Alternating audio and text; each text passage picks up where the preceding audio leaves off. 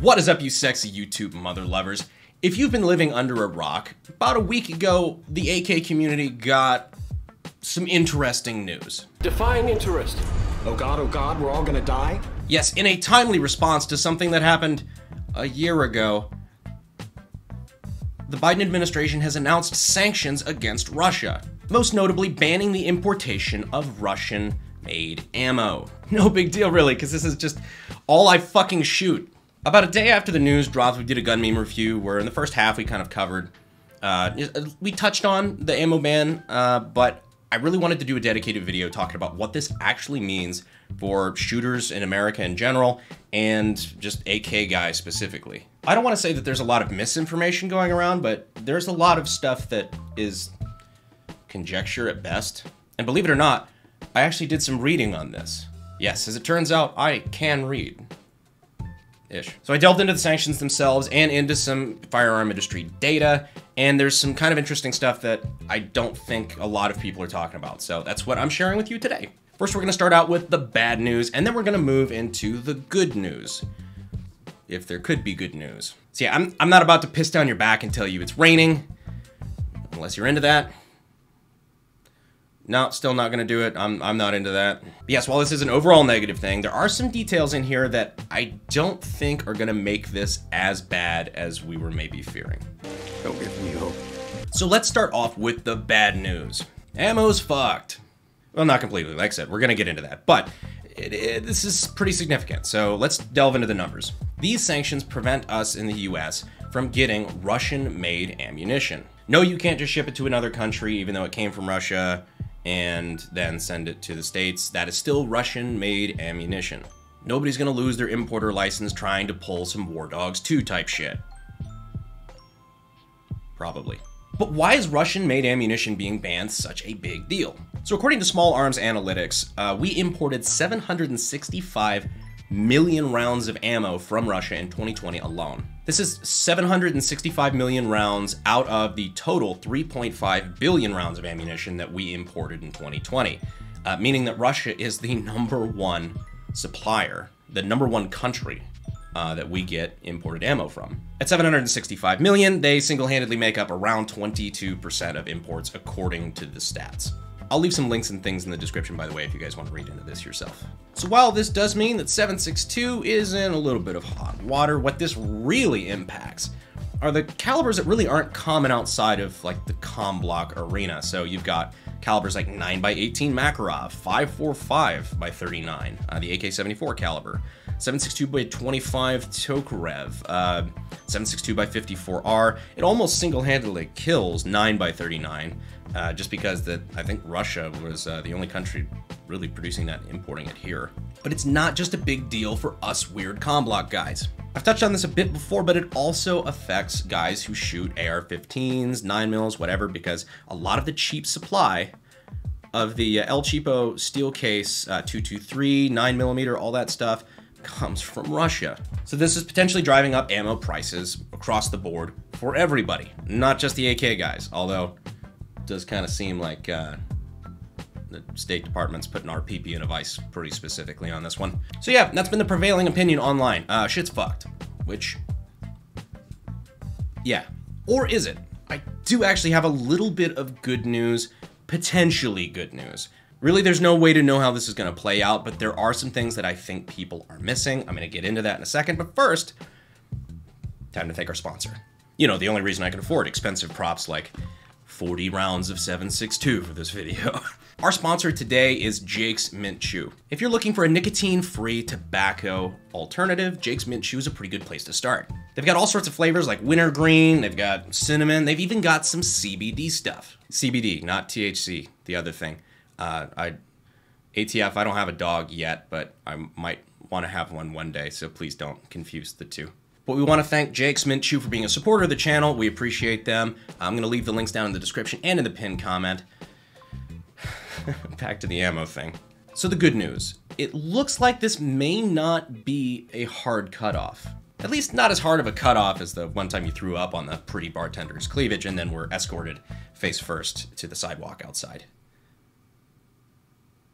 Wait, that was just me, wasn't it? But that aside, my point is actually in the verbiage of the sanctions themselves. So I'm going to read directly from the State Department sanctions, and then I'm going to cue in on the interesting part. Restrictions on the permanent imports of certain Russian firearms. This has already been a thing for years, so I, I don't know why they're including this. New and pending permit applications for permanent importation of firearms and ammunition manufactured or located in Russia will be subject to a policy of denial. That's the interesting part. It is not banning the importation of ammo, at least not directly. It is saying that all pending and future applications to import ammo from Russia will be subject to a policy of denial, which means they'll just be denied. What this means is that there are already approved Form 6 import forms that could be tens of millions of rounds of Russian ammunition that have already been approved and greenlighted and are still coming into the country. Could be millions, could be tens of millions, I really don't know. So even though this goes into effect in a couple of days, we're still going to be getting trickles of Russian ammo in from already approved import forms. I'd also like to point out those can go like, I think 12 to 24 months into the future, something along those lines, which is really interesting because the sanctions themselves say that they are to be reevaluated in a year. Now, I'm not putting a whole lot of stock in that, uh, just because, like, what is it that Milton Friedman said? Uh, there's nothing more permanent than a temporary government program.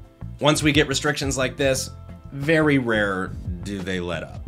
However, they're the ones who put the limitation on their own sanctions, so we'll see what happens in a year. Uh, but that does mean that there is a possible timeline, and God, I hope we're living in it, that these sanctions get reversed before the last approved import forms are, are done with. So while ammo imports from Russia might slow down, they might never actually even go away. I'm not a betting man, but if I were, I don't think that that's going to happen. Uh, but it could, so that's at least worth talking about. Kind of anybody's game, unless you can tell the future, which I clearly cannot. Uh, who knows? In the meantime, I do have more good news, or at least a little Benadryl to make the pain go away. People have already talked about throwing out their AKs, uh, throw out your AK-74, just, just tossing all this shit because it's worthless now because you can't get the cheap ammo. Uh, that's that's horseshit. Again, I'm not going to tell you that ammo prices aren't going to go up because they already fucking have. Price of 7.62 and 5.45 pretty much doubled. Uh, thankfully, they're kind of holding there. Never thought I'd say thankfully about 55 cent around 7.62, but here we are. But it's reassuring to know that there are other countries that we import things like 7.62 from. 7.62, 9x18 Makarov, uh, 7.62 by 54R, a lot of these block calibers are still manufactured all over Europe. Stuff like this I was talking about before, the Bellum ammo, the, the brass case 7.62 by 39, that, that Gucci shit that I only feed my AKs on their birthday. PPU, Fiocchi, all over. Like there's, I mean, we still get ammo from, uh, from Serbia, from Hungary, uh, just all over the damn place. Czech Republic, Romania, Ukraine. There are a lot of places we still get these kind of Soviet ammo types from. I would like to think that they're going to be able to at least somewhat fill that hole in the market because there is going to be a hole for sure. Now, as you might imagine, manufacturing millions of rounds of ammunition is difficult and it is expensive and it takes a lot of tooling. So, this is not something that's going to happen quickly uh, but it is something that I do hope is going to happen.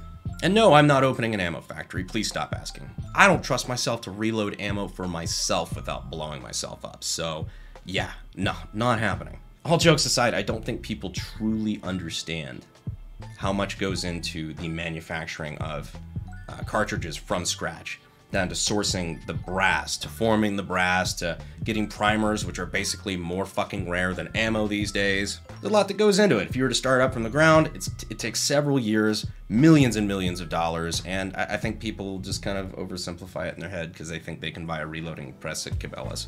But yes, that tangent aside, no, the AK is not dead. We still have a lot of ammo here. We have a lot of ammo still on the way, and there are other countries that are hopefully going to pick up the torch and uh, kind of pick up the slack for where Russia can no longer get us what we need. Plus, who knows? There's a lot of domestic manufacturers, at least for 7.62 by 39, a couple of the other calibers, uh, that might be picking up the slack as well. I'd love to see that. I have no shithead people arguing that this these sanctions were done because Biden wants us to have American-made ammo. I'll just let you think about that one. There are people out there that believe that. And they vote So while this is clearly a bayonet jab from the Biden admin to American gun owners, hopefully the unintended consequence is uh, more American domestic ammo production. Because you know that the government never has unintended consequences. But anyhow, guys, that's about all I've got for this video. I just wanted to dig a little bit deeper into this, kind of tell you guys what's going on, and uh, hopefully this has been educational for you. I try not to get too serious often. I know this stuff isn't fun, but I think it's important to know what's going on. So hopefully I helped you guys out with that, and uh, yeah, I guess I'll see you on uh, Gun Meme Review on Thursday. As always, I appreciate you guys staying to the end, and I'll see you sexy YouTube mother lovers in the next video. Thanks. Is my obsession to make the perfect weapon. Like Rasputin's rise to the top. Qu'à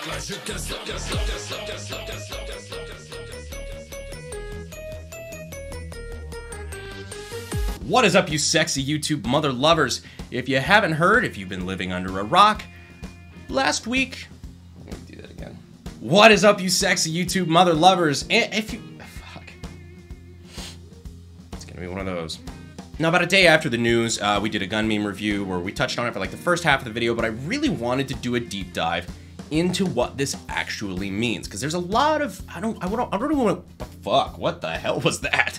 At least not as hard of a cutoff as the one time you threw up on the pretty bartender's cleavage and were escorted face first to the uh, face first. What the fuck? New and pending permanent app. Fuck if I could read. So while it's slow.